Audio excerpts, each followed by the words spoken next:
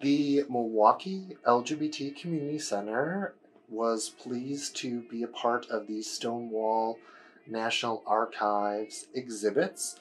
And this exhibit that we'll be looking at today is focused on the Harlem Renaissance and focused on um, how non heterosexual people were integral in this big social movement that happened in the 1920s.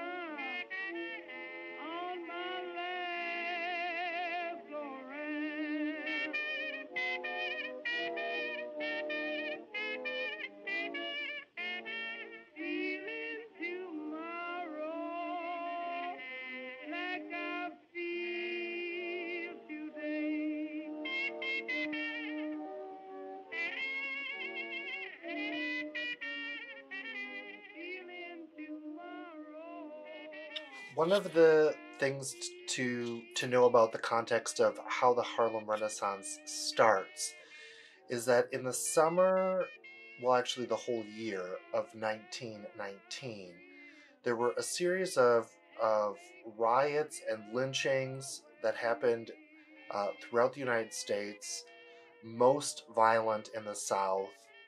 Over 250 people were killed, African American people were killed they called this the Red Summer. And it was not called the Red Summer because of bloodshed or uh, the violence that happened. It was called the Red Summer because the United States government blamed African Americans for the violence that happened against their communities in 1919. It was red because they believed that it was communist agitations, that it was socialism that was influencing uh, kind of black activism. But really, this was kind of uh, people that came back from World War One that said, hey, we don't have voting rights, we don't have economic freedoms, we do not have the things that this country is peddling on the global scale, right? Uh, there's all this kind of grand uh, platform of the United States as being um, this beacon of liberty and hope and uh, self determination. And African American people are saying, wait a minute, that doesn't really necessarily apply to us. So there were several peaceful protests, there were several uh, renegotiations of sharecropping contracts, uh, different groups formed collectives and uh, they were violently suppressed. Uh, so this kind of creates this moment where a lot of people say we can't live in some of these areas we can't live in, in parts of the south anymore and they move to places like harlem and harlem was originally designed to be a wealthy white only neighborhood and it became a really economically diverse black neighborhood. And people from all over started to come to Harlem. And then imagine a life that's not influenced by the white majority way of thinking, that it was a, a way to kind of just have a community and a place of self determination for black people. And then all of this kind of starts to blossom in a really big way.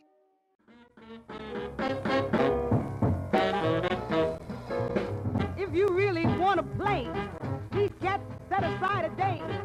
Grab your duds and come and meet the Juneteenth Jamboree. They really pitch a ball. Load of wigs, jobs and all. Everything is strictly free. The Juneteenth Jamboree. So, one of the contexts to think about in the 1920s of just how radical things are changing is to think about women's dress and how much that radically changes in the 1920s. It goes from kind of a corseted, stuffy, um, Edwardian period, cumbersome women's costume to a very loose cut, uh, androgynous, uh, look. It's a very kind of streamlined, square look, and this is like people think that oh well it's just it's just a dress, but this is a huge change because it also signals a change in uh, kind of women's bodies and how they're interacting with the world. They're not they're not restricted. It's loose. There's dancing. There's socializing. There's going out. There's working. All of these things happen, and all of these things change. Women's hair changes from these very cumbersome, elaborate, like bun type things to simple bobs to Marcel waves. All of this changes, and this is all signaling kind of this this movement of, of women out in the world. There's no no working. Everybody stop. Gladys Bentley is an interesting character, uh, a very out lesbian. Uh, she used to perform in this amazing tuxedo with backup dancers of like 20 to 30 drag queens. She operated and owned a club called the Clam House that was very queer. Um, this was kind of the general theme of all Harlem nightlife is that there was an infusion through all pieces of queer people, of not hetero kind of normative structures that we would think about today. Things were very, very fluid.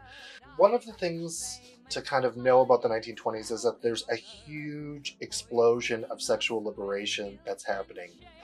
Heterosexuality is kind of invented for the first time. So is kind of this idea of um, female sexuality breaking away from the confines of this Edwardian marriage and family, kind of not having any pleasures in, in sex. All of this kind of things gets thrown out thrown out the window. There's just an explosion of, of fun and exploration and kind of creating one's own identity. Uh, so when when coming out is now in the lexicon of this thing where you know you you come out of the closet you back then it meant it started back then and that meant that you were going out into the nightlife. You're going out into these places where other people are gathered. Really people did not care what their what their coworkers knew of their of their sexual orientation their family whatever. That that didn't really necessarily matter pity you.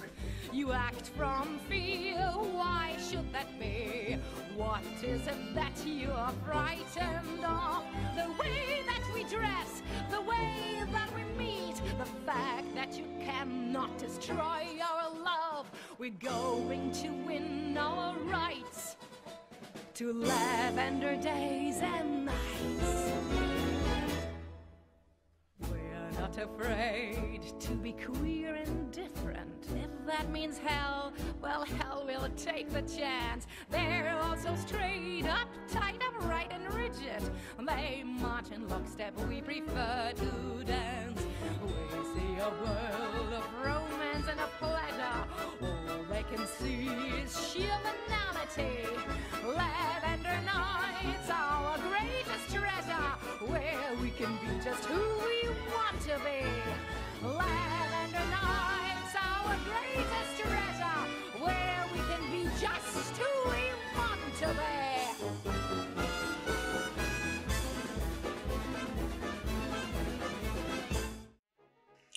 So this is also the era of prohibition, but Harlem is kind of running illegally these kind of and legally these kind of uh, speakeasies and nightclubs and, and, and all this kind of blossoming of, of nightlife and entertainment starts to happen. Um, the pansy craze that kind of still lasted a little bit into the 1930s, where where people in New York, especially of all demographics, were very very interested in drag queens and drag performances.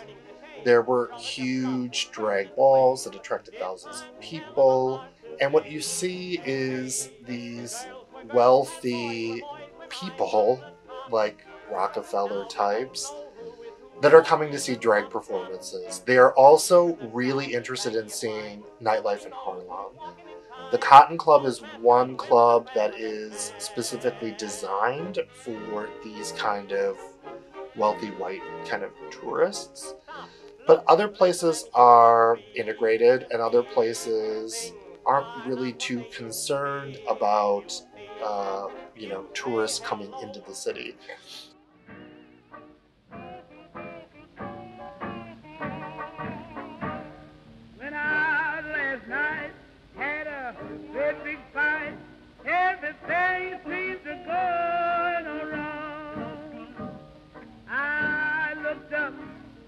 To my surprise, the gal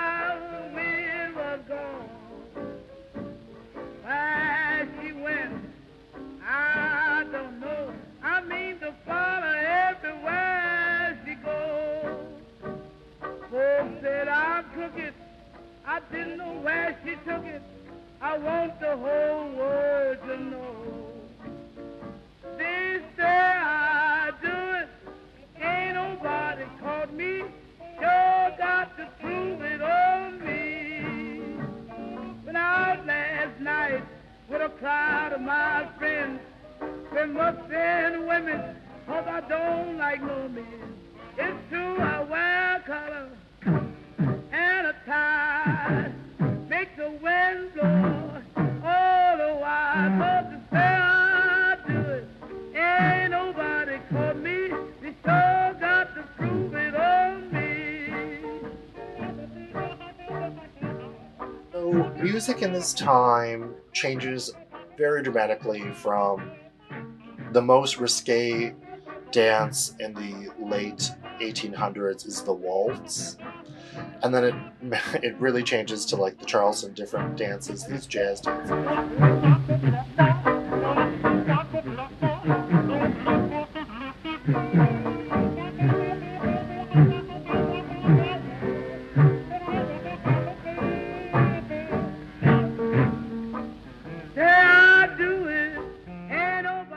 Kind of creates modern music in a lot of ways. It, it shifts from these these formal dance type musics and some popular song ballads to this kind of more expressionistic music that we have today. Jazz kind of influences all all music up until this point. It all kind of blends and has this kind of this start piece of how American popular music starts right here in the jazz age.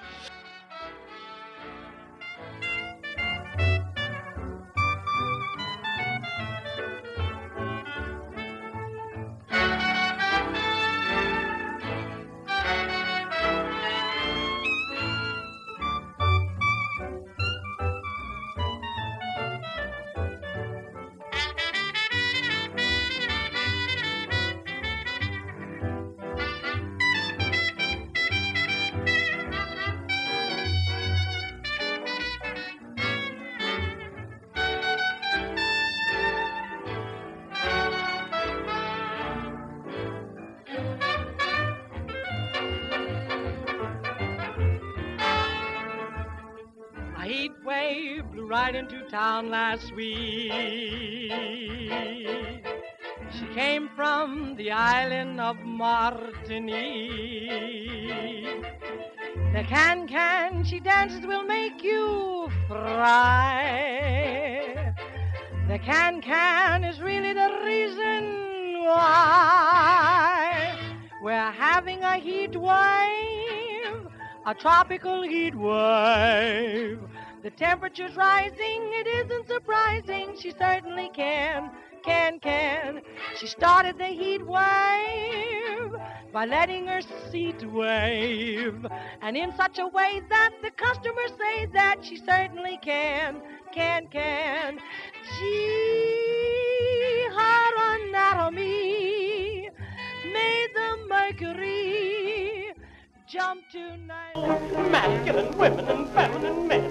Which is the rooster? Which is After the? Prohibition is repealed, none of these establishments can get liquor license to continue to operate. Uh, both gay bars and uh, black-owned businesses are, are targeted and excluded from from these. Uh, they're not considered wholesome establishments. This has a direct effect leading up into places like Stonewall, where liquor license for gay bars are, are being run through the mafia. So it's starting to chip away at economic self empowerment. Uh, the Great Depression happens. Most African Americans are excluded from work programs, from business loans. They're racist and continue to this day.